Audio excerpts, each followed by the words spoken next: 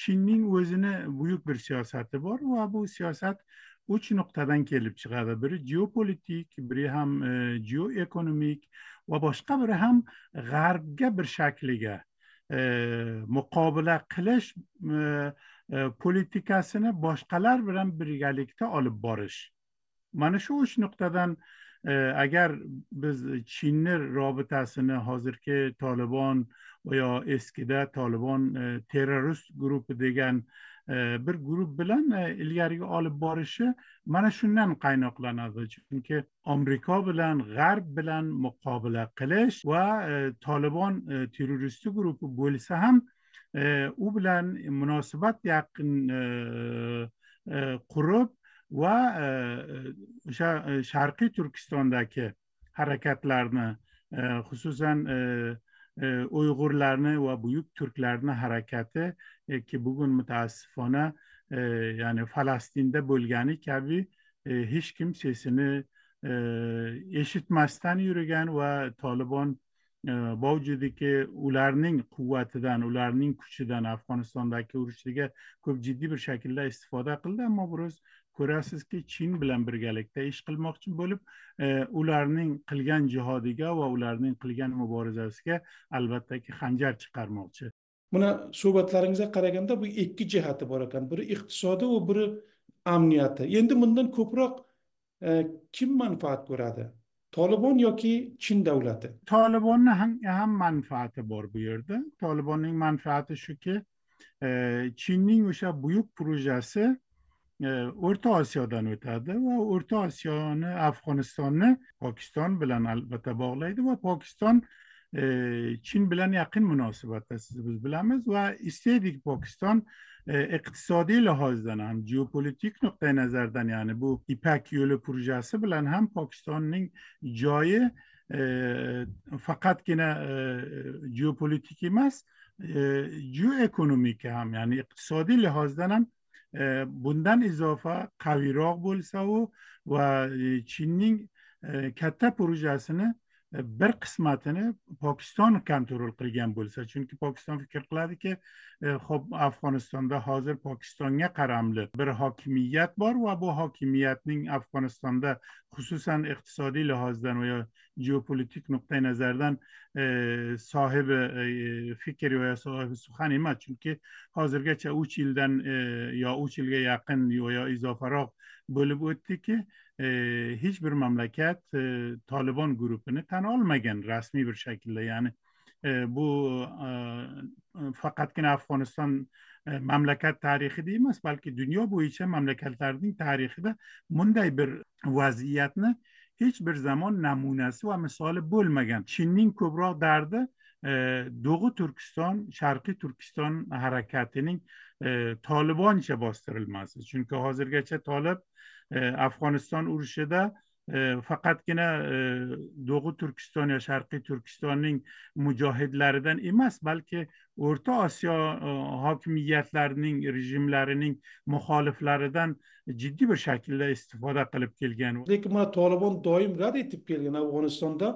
bu ifrotiy Э, xorijiy guruhlar bo'lmagan ayniqsa mana siz sharqiy turkiston deyapsiz boshqa o'rta osiyo davlatlaridan bo'lgan shu ifloti guruhlarni ular doim rad etib kelganku toliblarning e, odatlaridan biri e, ko'p oz hozir hech bo'lmasa hozir hozir e, rost gapirmaydilar. Agar bu yolg'on gap bo'lsa ho'p nimaga toliblar o'sha uluslararası ho'p hay'atlarga ijoza bermaydiki badaxshonning o'sha sarhadida bo'lgan qarorgohlarni va yo bezlarni borib ko'rsa va yo ham foryobda sangar tutgan o'sha sharqiy turkiston mujohidlarini va yo ham E, o'zbekistonning muxoliflarini yaqindan borib ko'rsa chunki siz biz bilamiz o'zbekistonning ham e, afg'oniston bilan va yo afg'oniston xalqi bilan shoyad ham unchalik dardi bo'lmasaki o'z manfaati xususan mana shu abreshim yo'li yo ham ipak yo'li e, projasiga bog'liq ba'zi harakatlardan o'zini kelajakda foydali bilib va afg'onistondagi bo'lgan muxoliflarni jiddiy bir shaklda sıfırgacha o'rtadan eltish hadafini ta'qib qiladi. Uning uchun ya'ni fikr qilingki e, o'zbekiston hokimiyati afg'onistonda madrasa qurib ya'ni to'rt besh millionga bir madrasa qurmoqni va'da berib ayni zamonda e, o'zbekistonda boshqa e, ya'ni e, o'sha e, me'yorlarga barobar e, islomiy o'sha an'ana va farhanglarga E, barobar harakat qilishni ularga qadag'an qiladi. Ya'niki mamlakatlarning ko'proq manfaati matrah va bu manfaat xususan chinning va o'zbekistonning manfaati.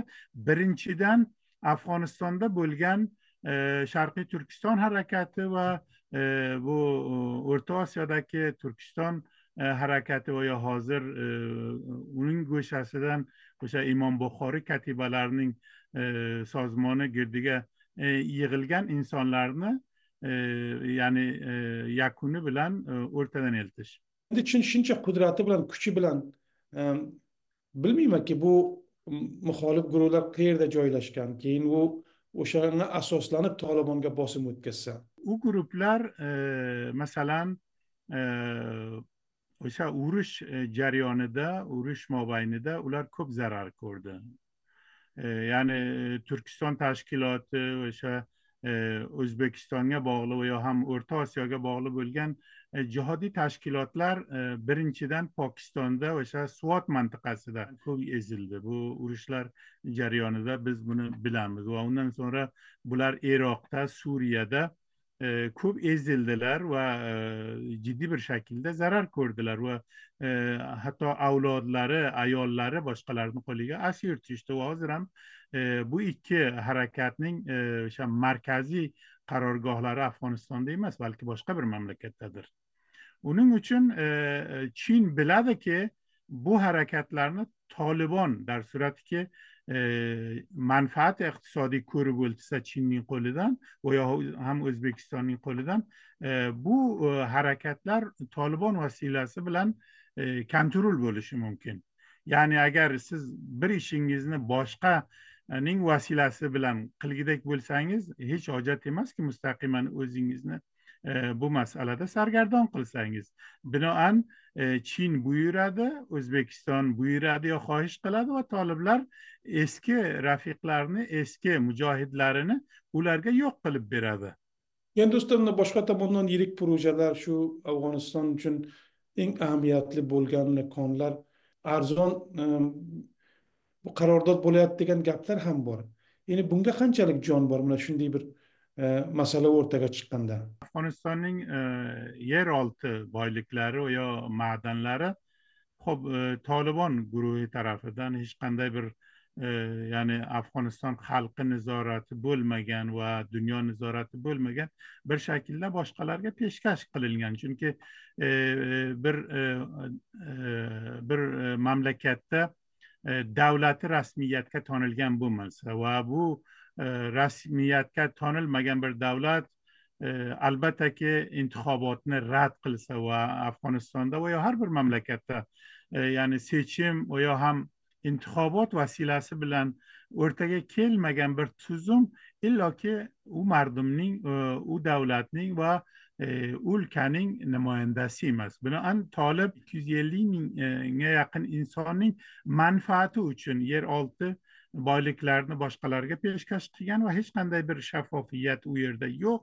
E, va shaffofiyat bo'lmagani uchun e, bu projelarni kelajakda e, jiddiy bir shaklda ya'ni afg'onistonda illoki bir tuzum keladi illoki tag'irot keladi. Chunki bu hozirgi vaziyat bunday davom etib ketavermaydi. Afg'onistonda bu projelar toki intixob bo'lgan bir davlat va hokimiyat o'rtaga kelmasa va u davlat ham e, afg'oniston xalqiga javobgar bo'lmasa bu projelarni tadbiq qilishi faqatgina chinning e, o'sha ixtiyoridan va yo kuchidan emas balki e, dunyodagi hech bir kuch ham shoyad bunday bir kuchga ega bo'lmasa bunday bir imkonga ega bo'lmasa chunki biz buni o'sha amerika hokimiyati va yo ham avropa hokimiyati bo'lgan afg'onistondagi tuzumda biz ko'rdik va fikr qilamanki chin ham bu masalada ko'p muvaffaq bo'lmasdiyman